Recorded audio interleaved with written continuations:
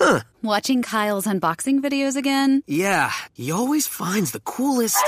No way! A robot dog? Gotta ask where he got it. Or use your Samsung Galaxy S24 Ultra. Just draw a circle around the dog on your screen, and it shows you where to buy it right in the app. Oh, I just learned a new trick. And that for once, I beat Kyle to the next big thing. Circle it, find it with the new Galaxy S24 Ultra and Circle to Search with Google. Get yours now at Samsung.com. Internet connection required. Results may vary based on visuals. Bernigan, Bernigan, Bernigan,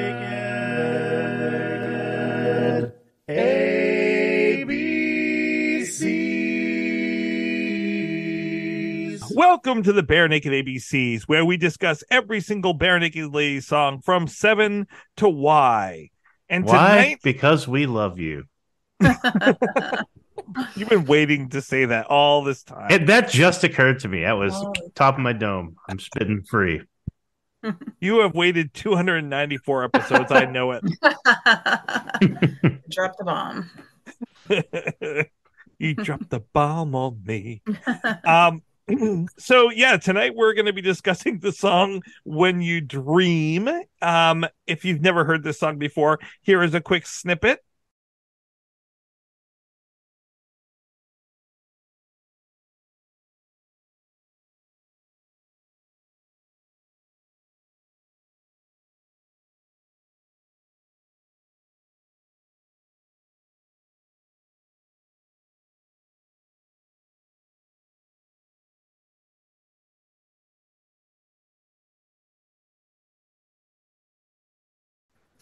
But having joining me tonight, um, I have with me Betsy and Aaron. Welcome. Hello, thank you. Hey, And Aaron, you get the all important question of oh, what album is this from? Obviously, a Page song and beautifully rendered. It's probably either Maroon or Stunt. I don't remember a stunt having anything this lush or soft, though. So I guess I'm gonna guess maroon. Ah, come on! so close. It That's is interesting. on Stunt. Matter of fact, Oh. it is the finishing song. Ooh, that's a nice Stunt. closer. Nice closer. Well, that's int- up until I'm now. to when I- disagree with you on when that, I- but oh, okay, I interesting. We're disagree gonna with your disagreement, Tracy. we're gonna get into it here. I think. oh yeah, Uh, so up until now, when I've thought of stunt, I've thought of like one week or it's all been done or alcohol. I guess I kind of forgot about call and answer. That's kind of got a nice kind of soft element to Mhm. it. Um, but yeah, no, this is uh, this is a, I was gonna say it's like a lullaby, but no, it is a lullaby, uh, Mhm. and it's a, a very ambient song. If Steven's voice weren't so iconic, I could have mistaken this for like a Brian Eno tune. and uh yeah, Stunt. It, it finishes the album. I don't. I have a problem with this finishing the album. I There's a trouble do. with Tracy. Is it with the song in general, or just you don't think it's a good one to close on? Well, one, I don't think it's a good one to close on. I I don't like the idea of finishing an album, especially a, as vibrant and upbeat an album as this one is with this song. Um to me, a finishing song should always make you want to flip it over and start on the other side again.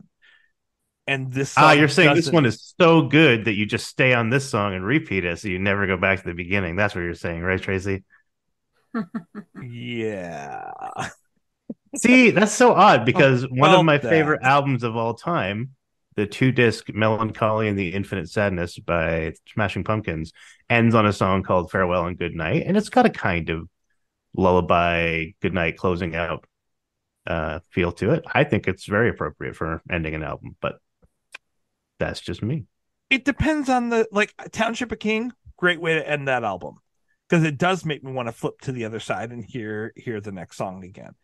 This song doesn't make me feel that way. It doesn't definitely doesn't make me want to go. Oh, let me listen to one week now.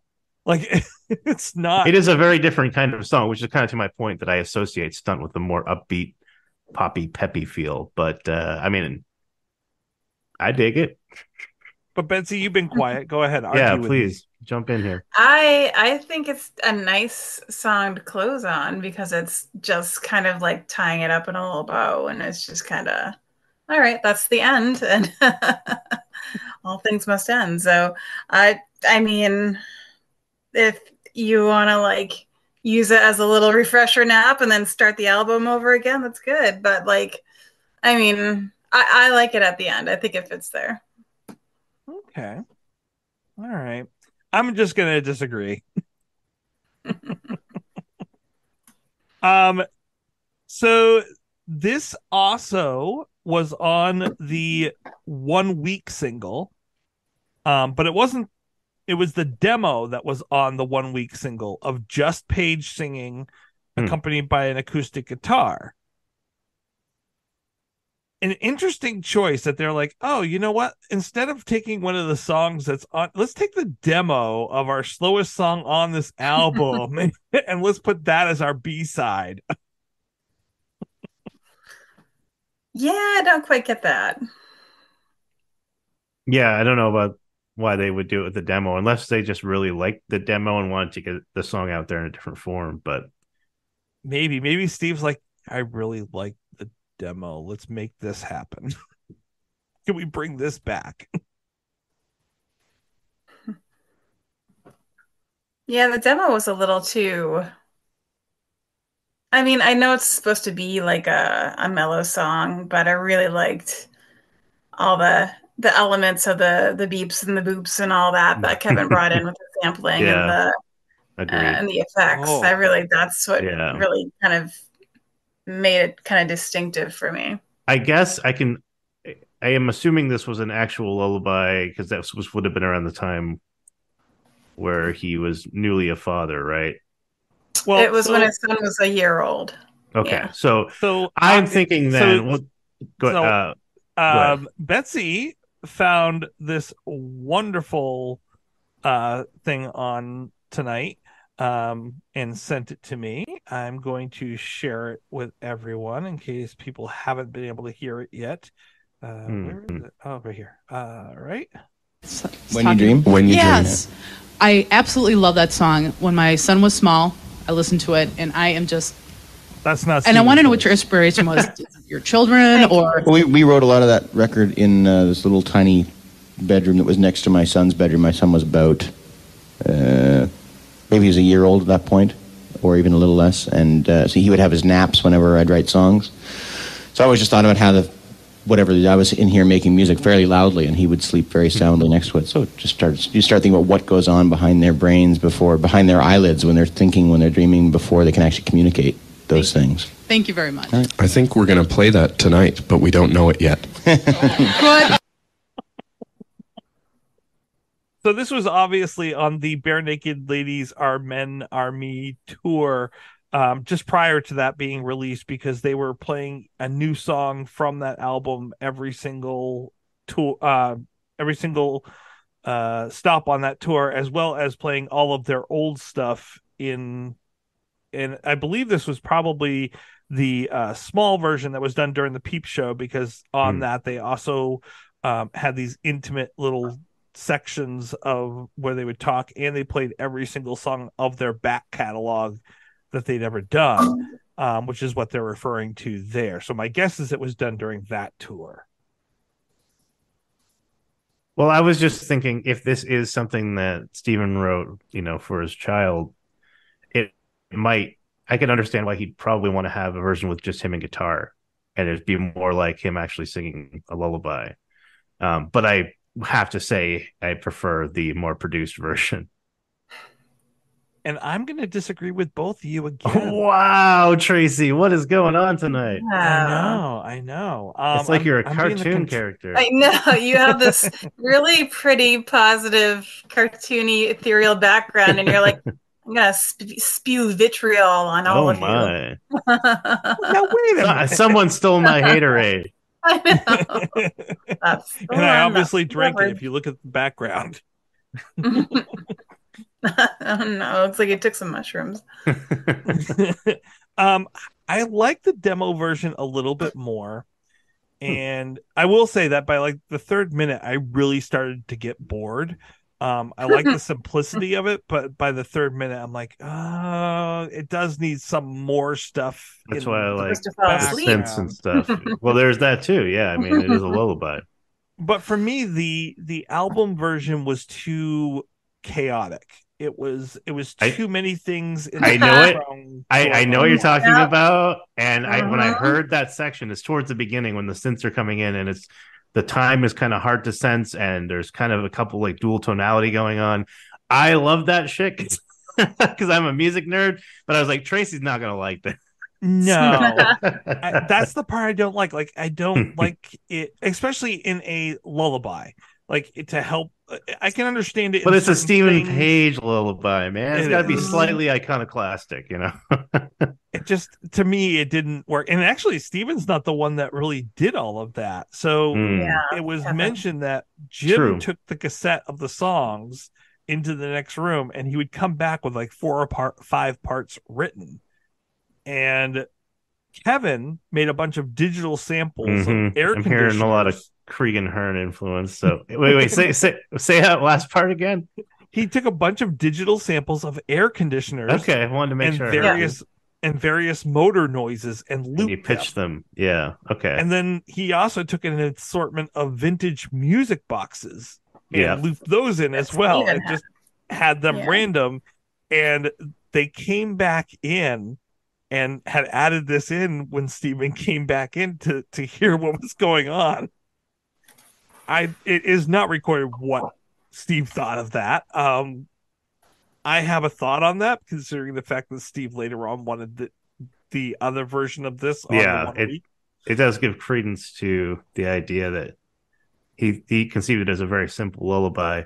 Uh, I do. They I do. also made a version of this with just the air conditioner and sample and all the music boxes and reverse guitar. Interesting. it was voted out by everyone on the band. Huh.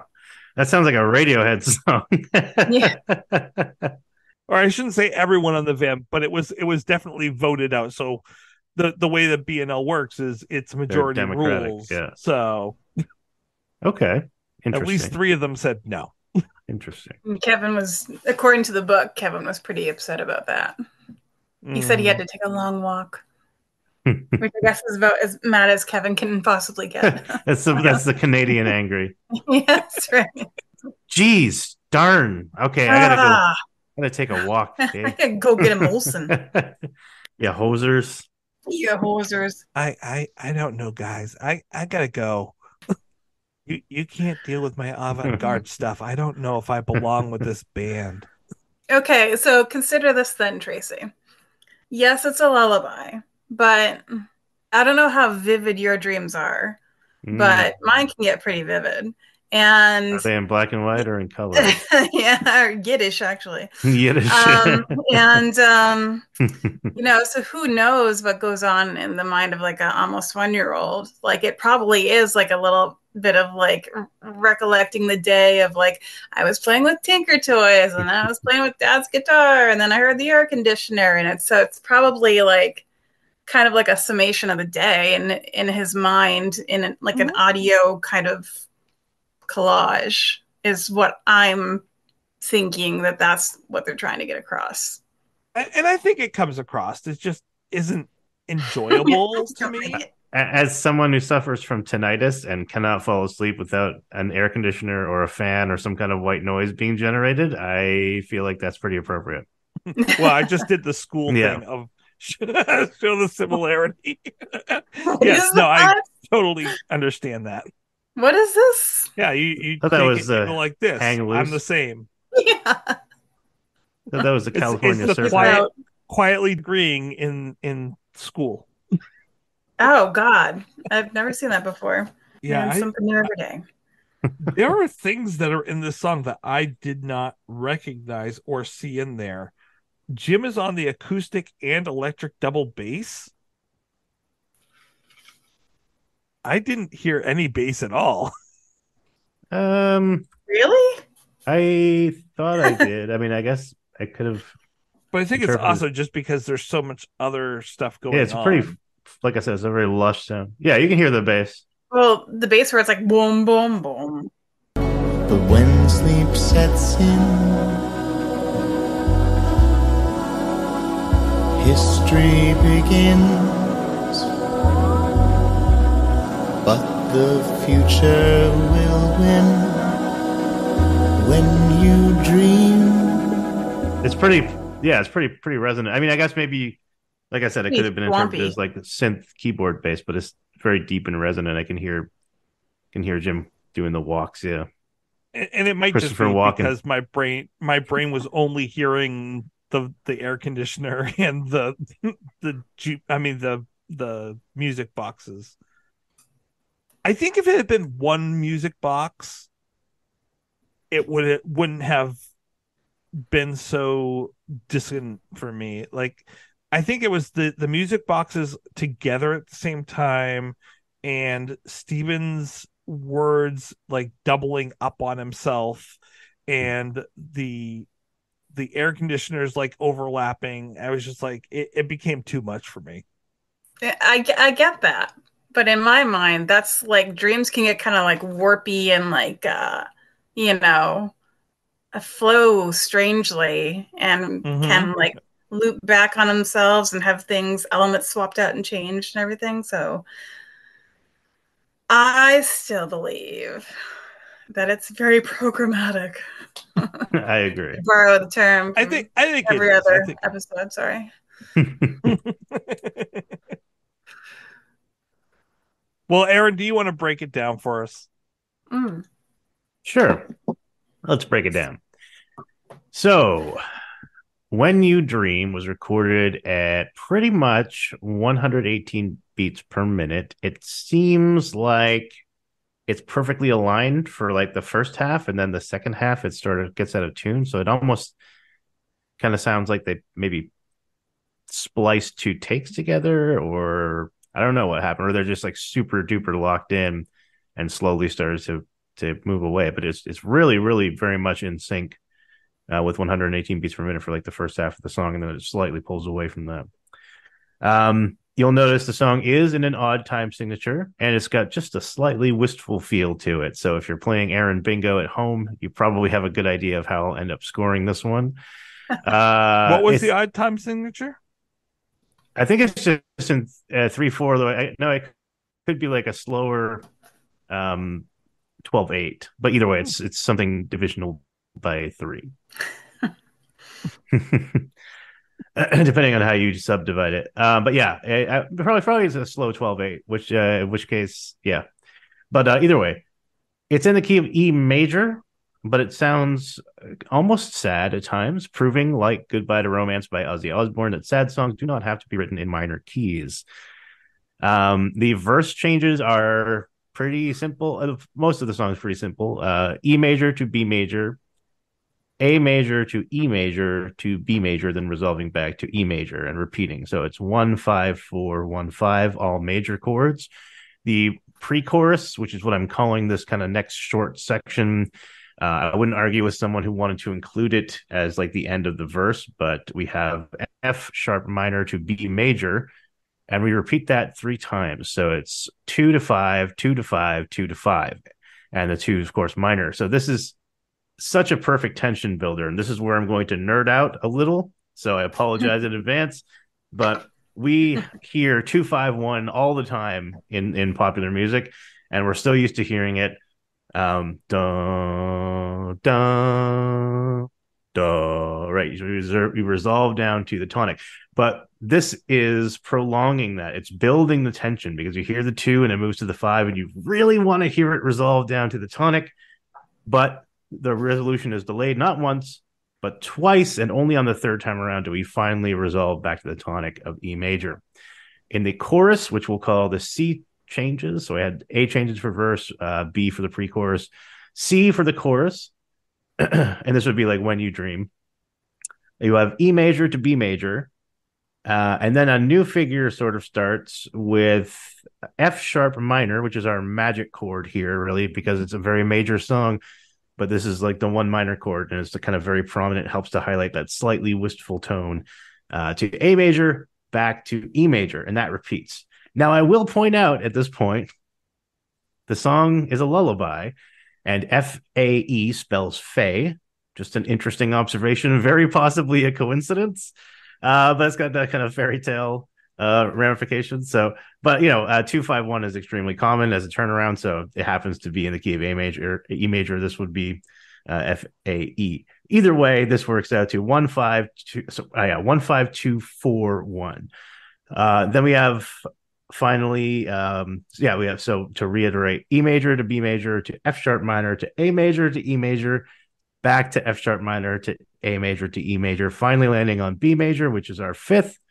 So we can land at, and gently and, and quite resolvedly back to E major, the tonic. So the structure to my thinking is you have the intro, verse one, which is your A changes, pre chorus your B changes, chorus your C changes, uh, verse two, A, pre chorus, B, chorus C, and then the outro. There's no bridge, very simple. Uh, I mean, you could argue, you could call the pre chorus a bridge of sorts because it's like a transformational um, section between the verse and the chorus, but you repeat it. But anyways, that that's pretty good. ABC, ABC, and then you have the intro and outro, which is like I said, sort of playing with tonality. I wouldn't try to uh, to put it in a very uh, particular sense, but yeah, um, I think this is a beautiful song. It, it kind of makes me wish I had kids so I could sing this to them. Uh, you know, it's just it's it's very soothing to me and uh, definitely a song that I could lay down to at the end of the night and relax to, and you know, um, to try and uh, just relax. It's just it's very I don't know. There's something very um, reassuring. There's something very calming about this piece. Um, and I would be remiss in my duties if I did not make an esoteric song comparison. I'm not going to Radiohead. I'm not going to They Might Be Giants. Uh, this time I'm going to Ween. Uh, they have a great song, very lullaby like too as well, called "She's Your Baby." Came back from the stand, smiling, with the writing of a Kafka in hand, and a bunny in a can. Slipping and sliding, you feel yourself asking, why would you want me to try? Squeezing your wrist and she's pulling you closer. Down where the devils are dying with laughter. And led to a place where there's no form of pleasure. She blows you a kiss from her lips. She's your baby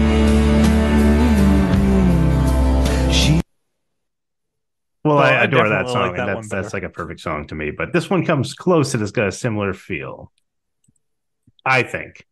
What did you think? Well, it's a Ween song. the There's a little chaos. in there. I mean, it meant there's re- references to Kafka. I don't know what a bunny in a can is, but that's kind of disturbing. So, yeah, it's it's you know it is what it is. I love Ween, but uh, what what did you think? I've no, I can't You don't say know that what a I've bunny in a can bunny is? in a can. I'm missing out. Oh, I'm so sorry.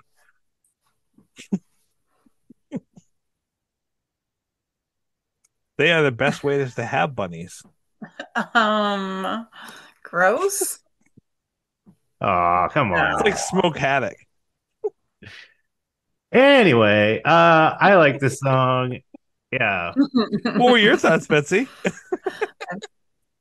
prefer them Do you alive prefer bunnies so and that we don't get sued at the clinic. Good answer.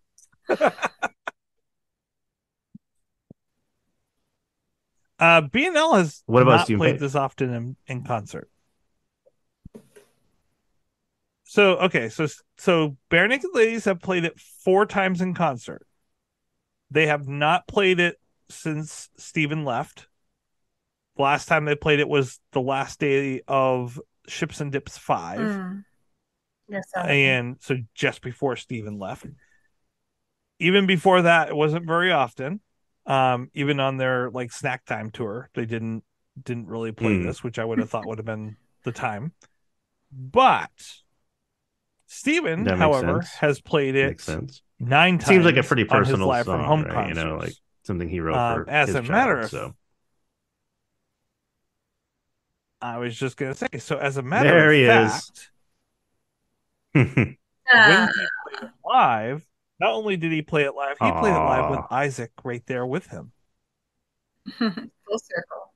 And if you can't see from the pictures, I'll put it into the the link. But Yeah. there's no doubt that Isaac Of course, is. his there's always a risk of Isaac falling asleep during the I'm song. glad you're looking forward to this as much as I am.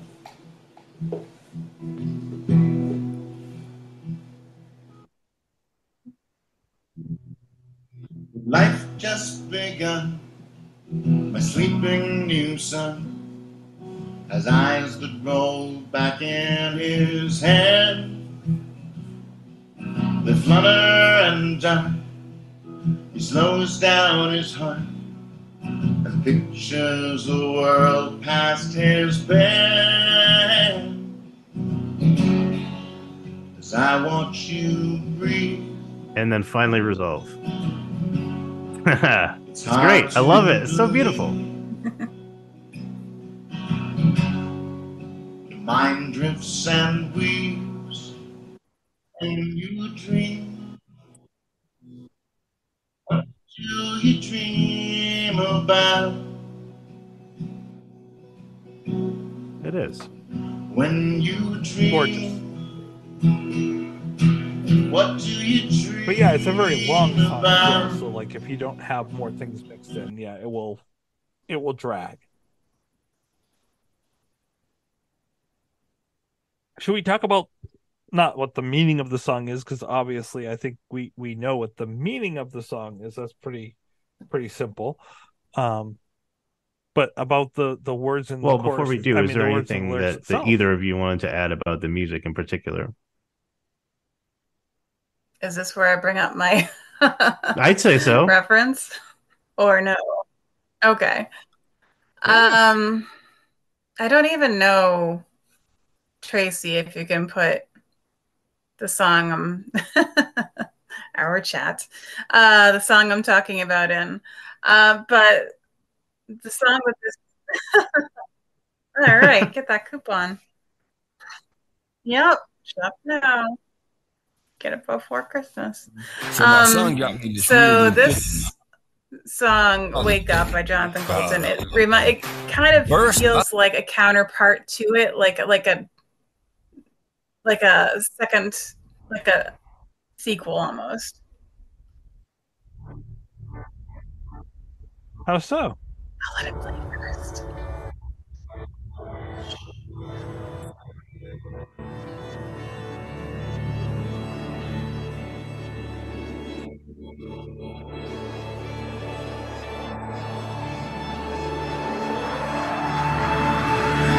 Wake up,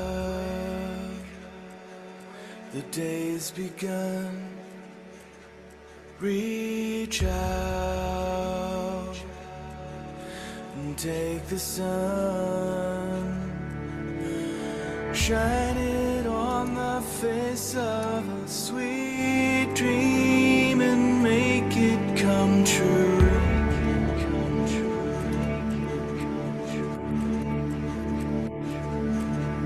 Wake up. So, so tell us more about the, is waiting for you. Uh, so this is not necessarily.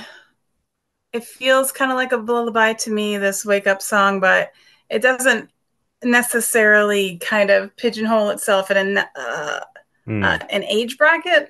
But it does mention something about like baby blues and the whole world's waiting on you. So it kind of does have a feel of like um, this is, you know, a a child going out into the world kind of but um i don't know when you listen to the whole thing through and compare the two it, it does feel like one's kind of bleeding into the other and the other one you know the wake up is kind of continuing um where when you dream left off so it's it's it's just it complements it nicely it reminded me a lot of each of each other huh yeah bookends so I like that one better. yeah. Well, then there you go. Bookends. You introduced me to a song Oh, I like oh, better. oh, so okay, I misunderstood. Yes, little monkey bookends. and yeah, I can see it's definitely less uh, discordant than when you dream. So I'm sure that appeases your brain a little more. Yeah, it does. It does. I'm simple that way. Excellent. Yeah, I'd be, I'd be very. I would love to hear Stefan's Stefan's take on it, though. Uh, we were supposed to have um, a a guest tonight. Unfortunately, he was not able um, to make it, uh, but he did send me his thoughts today when I was talking with him, and I'm pulling them up right now. Um, so we were supposed to have Eric uh, Butterworth joining us tonight, and unfortunately he's he's busy. He's been looking forward to coming onto this because as he says i'm so annoyed too because this is my least favorite song and i was gonna give it a truly awful rating Oh my at least- god! Spread that hate. Jesus, Oof. um he was gonna give it a two out of five what the Um, hell? It- it- Does he have kids? he Dream wanted to give it a rating of dream jesuses Oh, oh! For the record, if we're talking about ratings, I'm, I'm gonna I like pitch Fontanelles. Fontanelles. That's nice. That's very nice. Which Oh, actually, now to I think do about We're it, the it sounds like a 40s Fontanelles, group. doo. Yeah. Up there. Very, very, yeah. Gladys and the Fontanelles. I don't know if i would have listened to that group Um, so he says two. He he would give it two for the lovely, nice melody and the pretty vocals, but It's the lyrics lullaby. and the pace. Um, he says I have no frame okay, of but reference neither do I. for having Did, did his parents sing to him when he was a little kid? Come I mean, you on. Um, yeah. I don't know. Um, he says it doesn't speak to me on any level. And could you be any slower of a song? Song? Right, because I want Primus when I'm Um, going to bed, obviously. What the hell? Uh, he says when I downloaded all my CDs onto the computer, this is the one and only BNL song that didn't make the cut. Rude. I That's like an amazing much as song, Guns N' too. Roses November What? Rain. oh I man. Love November. It is. And then and then he says, never mind. Rereading my notes, I'm giving it a 1.5 for the music and vocals sounding. Hey, nice. I like to be open-minded and I everything, am but flabbergasted and dickish. gobsmacked. wow, Eric is like one of the nicest guys that we well, know. his words are not very nice. really. Quite acerbic, I think. I mean, he's harsher on it than I would have been. Yeah. wow. Um and harder than I will be, but yeah, he's- he doesn't like. Somebody. I would, I would definitely I say he likes it less than me. Maybe well, we got that right seems before like as good a transition as any to talk about the lyrics. and can I just say, let's see, where is it? There's, yeah. Can I just say, Yeah. Can I? I might, I might. You can, would you? Um, Oh, rhyming boisterous with noises just. Mwah. Chef's kiss, chef's kiss. Yes. That's fantastic. Mm. Gorgeous. Gorgeous. yeah, I mean, the lyrics are really. I love the lyrics in this. Um, to to look and think about what his son might be dreaming about Mm. while listening to this or while thinking about this. I love the fact that he's like he doesn't like go into the mushy kind of stuff. He does, but he also, you know, do you dream of music or mathematics? like this one year old dreaming of mathematics. Well, is you just can't really dream about music without dreaming about mathematics. I mean, really, but I- yeah. I just feel like it's great because it doesn't talk down and it's like, you know, once the child, uh, you know, gets a Mm-hmm. little older and can kind of comprehend what's going on, it's, it's not like, you know, I, I don't know. It's, it's just, it seems it's a very, I don't know. It just, it's very honest. It's, it's like written from a place where you can kind of really understand where, where Steve's coming from. And Well, and he, he takes it from the like, are you are your dreams simple? Are they ex- explosive and amazing? are they uh, like this like neon type thing or are they are you able to conceive things that we are not able to conceive of in this young brain because you have so little of life that is impeding you you know the and he says it very poetically and and quickly, but like, do you dream Quantum of Jesus yeah. or mathematics? I mean, or quantum mechanics? Mhm. Like, well, and, you know, it's such an amazing juxtaposition well, and like there. that kind of reflects to me too, like like the potential that this kid's life has. You Oh, know, yeah, all the different versions in the multiverse that might be or, or or are simultaneously. Yeah, I love it. I love it. It's great. Yeah. I will say my least favorite line of this is his fun. it's kind of an icky uh, visual, but uh, I mean, I like I like this idea. It kind of Yeah. speaks to what we were talking about. Like, um, well, he brings up he brings up, you know, do you dream in was it English or Yiddish? So like, uh, I'm a little out of my depth here, not being culturally or spiritually Jewish, but like. Uh, I'm pretty sure isn't the concept of like the chamber of Guf like this place where all the souls are drawn from before they're given to bodies or whatever. I just think of something like that, or like you know even in uh, because i know Stephen probably has you know interesting views on on religion you know the uh, concept of like reincarnation or things like that is the idea that you may have lived a past life and then you know you're coming into this new one where you don't retain any of that so you're kind of uh, tabula rasa. I, I don't know i just love it. I, I- in fact you mentioned snack time earlier tracy and i actually had the thought while i was listening to this. If all of the songs on snack time had been of this caliber then I would have rated that out that whole album much higher because I, I love this is the kind of stuff that I would play for my kids definitely. I think this song Would have been the best one on there. Long done snack time. Not slamming snack time per se, just like I, this is a great song. I mean, Oh my goodness! I'm gonna, I'm gonna oh, we're gonna have words. respectfully Son. disagree, but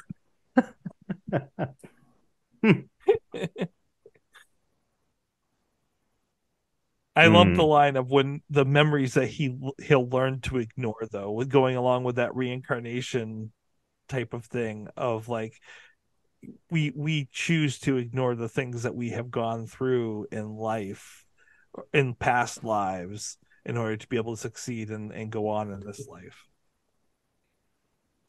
Yeah, I thought with reincarnation, maybe I'm wrong, that you do kind of retain elements of the past from past people. or Depends on what version events. of reincarnation you're talking about. But- But yeah, yeah, most definitely there are some. Well, then, uh, yeah, because I got the impression of like some stuff Bleeding like through, followed him and through somehow. Yeah, yeah.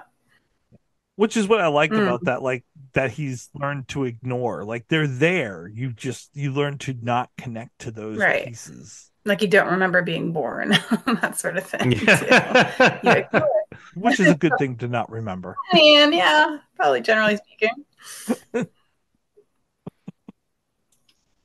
The most unusual line I think in this is, "Do you hear Yeah, that was an odd Shannon's one. Yeah. Runaway?" But I'm guessing that was like a song that he heard on the radio when he was a kid, so he's kind of trying to bring it back to his experience and trying to relate to what it would be like to be a child now.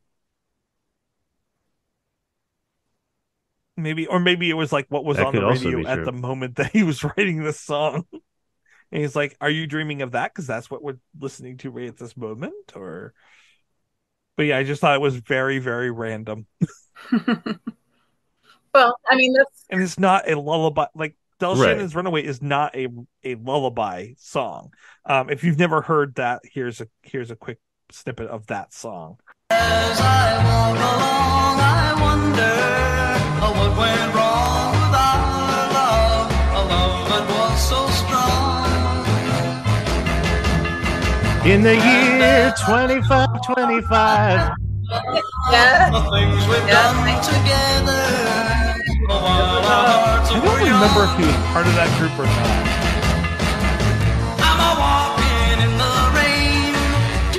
it's just thinking I that. like guitar. Looks like a ukulele.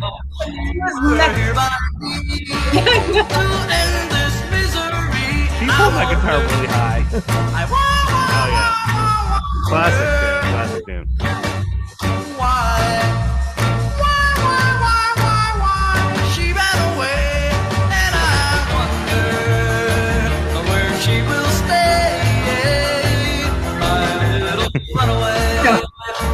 Run, run, run, away. I'm looking at this guy though, and I'm sitting there Yeah, going, he, he looks kind of like if Ronaldo Yeah. has done a lot of coke. A little alien kind of.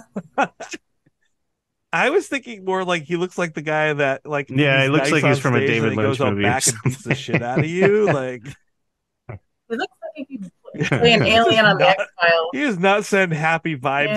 Yeah. Oh, all right. many well, fontanelles? Should, we put some?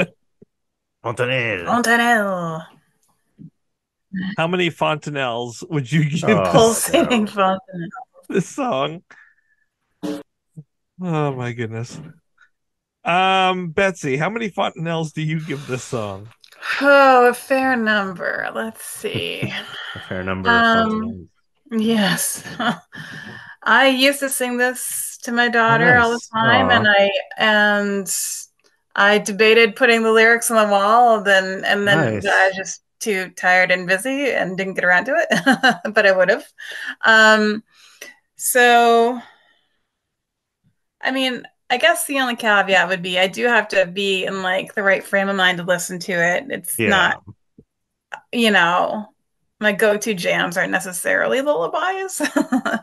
um, but uh, considering what it is, um, I would give it a 4.85 fontanelles. Very nice. Very nice. Wow. All right. What about you, Aaron?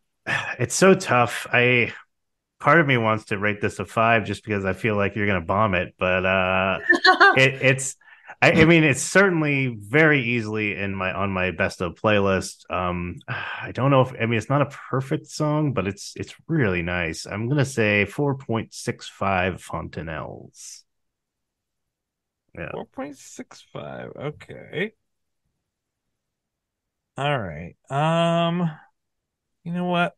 I want to be fair. Don't Let let us peer let pressure you. It's here. fine to you know everyone everyone takes a turn drinking the No, Haterade. I I'm I'm gonna be fair. I'm gonna I'm gonna sort the sheet and I'm gonna go down through this. And What are I'm going to Sheep? decide. Snort the sheep. No, it's a story. Well, I mean, we counted the sheep that were falling off the building Yes, last we did. week, We so sure it's did. only fair that we that we Count sort the them this week. They're very hard to sort when they've fallen off the Yeah. building. Pretty bouncy though. They're well insulated. But says the lady that just said that she did not want to say anything about canned rabbits. Because if You they guys are both pretty bad, showdown, if you they're ask me. like just gonna they're gonna land and they're gonna go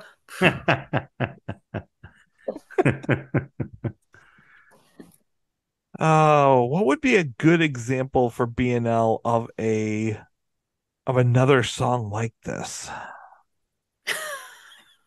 Why why did war on Ugh. drugs oh. pop into my head? What's wrong with me? What's the opposite of this song? I think this one is most the- similar what's to the song at the end Be of My Maroon? Yoko Ono. Not Maroon. Uh, what's the Oh, the song at the end of Everything to Everyone? song at the end Um, of E2E? Oh god, I don't know. This Have is not you how I s- store have you information in my, My brain, Love? Tracy. Have you seen my love? Okay, what did I give Have you seen my love? I gave that a 3.5. I like this better than I love Have you seen my love? Uh I'm going to give this a 3.6. All right, all right, all right, all right. Mhm. Mhm. Uh, Not what it deserves, Um, but all right. So I don't know how to transition to this next song. oh, It- there's no way to transition to this. Is this. this part of the transition um, that you're I'm I mean- it is. yeah. the only I, I mean immediately I want to go to say like who knew that this would happen but that's not next week's song next week's song is who can it be now so I had to skip a song to make the make the pun Well, maybe if there's a paternity test involved, you are not the father. Who can it wow who can it be be? now? Who can it be knocking? Time to go wait, to wait, Maury. guys. We might have to cut this joke, but who can it be knocking up my girl? oh, I Pick don't your think that's where the line is, Aaron. We've Uh, crossed worse lines. oh yeah. Sneaking across the floor. I mean, So yes, next week's song is is the BNL cover of "Who Can It Be Now."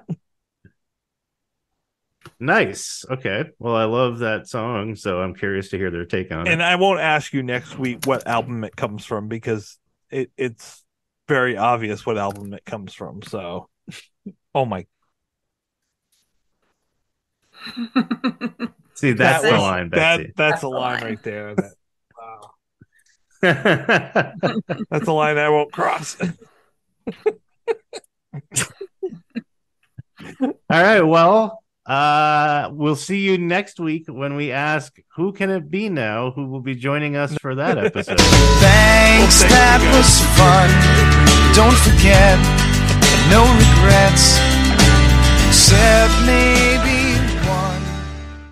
To celebrate joining Pantheon Podcasts, Rock Camp, the podcast, the official podcast of Rock and Roll Fantasy Camp, is giving away a guitar signed by Mike Portnoy of Dream Theater, Marty Friedman, formerly of Megadeth, and legendary shredder Zakk Wylde, plus our rockstar counselors like Vinny Appice, Monte Pittman, and more. To enter to win, simply follow, rate, and review our podcast on your preferred platform, and that's all you have to do. For more information, go to rockcamp.com forward slash podcast.